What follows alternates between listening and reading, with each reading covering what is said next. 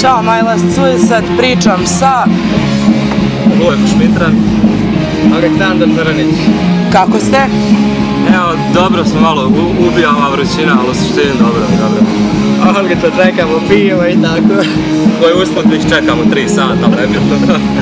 Ja, hajde mi sve pojasnite vaše ime, My Last Suicide, to je onako, mislim, moj, moj poslednji samoubistvo, maleko, mislim, ne da kažem absurdno ime, ali nije logično, ali sigurno ima nekog smisla obzirom na vašu muziku, pa ovaj, jel ste razmišljali o imenu kad ste ga pravili ili onako nasumično došlo? Pa nastalo igrom slučaja, nešto, na početku smo imali neko drugo ime. Ne mogu tačno sada sjetim. Uh, uglavnom nastalo igrom slučaja, nešto smo razgovarali na probi, pa smo dospjeli do tog imena Maga, Suicide, pa ne znam, ostali smo to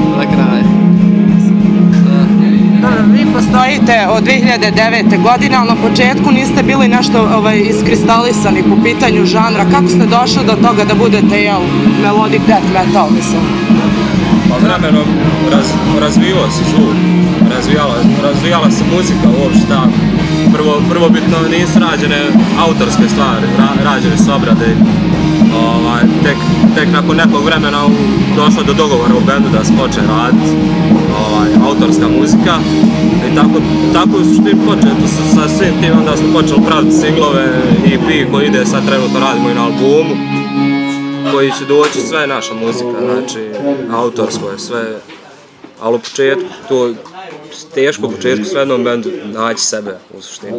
Pa dobro, u sklopu, u sklopu tih obrada razvija se i sam u tom muzičkom Sam svijetu, pa onda skontaš šta ti najbolje leži, koji muzički pravac i to ostalo nam je Šta vi melodija. ovako, mislim, slušate u bendu od muzike? Jel su ti koristili neku muziku kao uzor, mislim, jel ste išli po nečemu ili ste onako smiješali sve što slušate? Išli smo po nečemu, svako od nas sluša taj neki metal koji i radimo, taj melodic death metal, ono, da, najpristupa, najprisutnije kod nas, svi u, u bendu to, da slušamo taj melodic death, pa sad kasnije ima, slušamo mi da ne budemo ograničen, ovaj, slušamo mi sve, ali u to, to, je, to je osnova, od, od tog smo i krenuli, tako je nastalo za, za band taj pravac.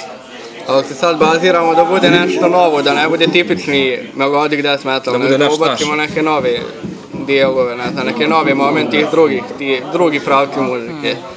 Pa sklapamo album potom nečemu, da ne bude čisti melo death, nego Biće šaren, biće šaren, prošaran. Istraživat ćete žanr Da, dalje. da. Znači, uspeli ste nađete taj neki zajednički jezik po pitanju muzike, to je super. Ovaj, e, sad pričate moji pio, izdali ste Personality Disorder, kako je izgledao taj proces? Je vam bilo ovaj, teško, jeste se puno oko toga maltretirali? Pa s obzirom da je prvi put da smo nešto snimali, tu je muka živa. Od metronoma do skrapanja tačnih dijelova, aranžmana, svašta nešto. Ali dobro, u suštini pomogao nam je dosta Srđan Branković iz Alogije, pošto smo kod njega u Paradox studiju snimali. Pa u pomoći njega objasnio nam je baš neke stvari kako lakše doći da nešto napravimo.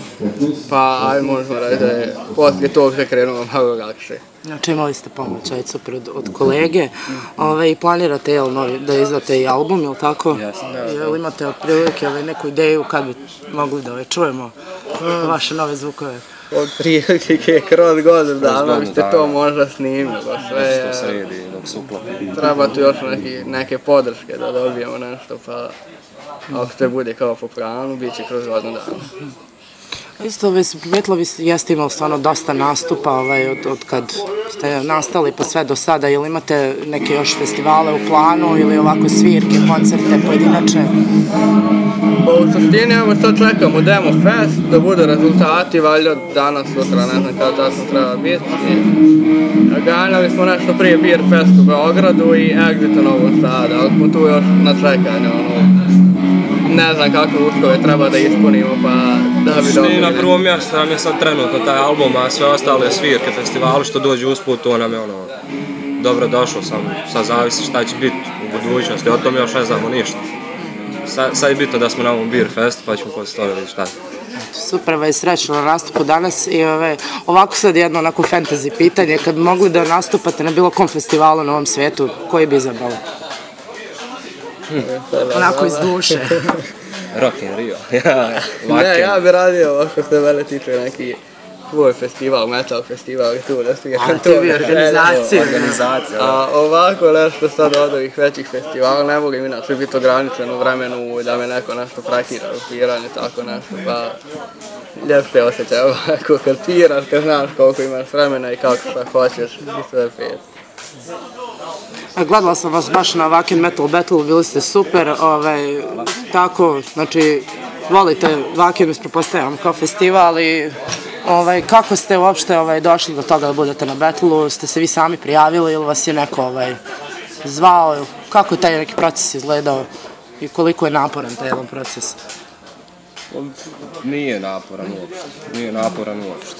To je samo pitanje da se prijaviš, da vidiš, da oni odluče ko će, šta će, kako, to je sam da dođeš tu, sviraš, pokazuješ od sebe najbolje i to je suština svega. Sad, ako imaš šta komplikovanije da ti možeš reći, ne znam. Nemoj mene više da pričam. Evo, to je to, neću više da znjavim, jedino ako hoćete još nešto za kraj da kažete o, o sebi i o bendu. Ako ne, to je to. Ma nemamo šta reći, ko, ko hoće neka nas čuje, saznaće šta i kako je i to je to. Pa neće nek popije pivo, i dobro je. Ništa, momci, hvala vam na vremenu i vidimo se nekim drugom prilikom.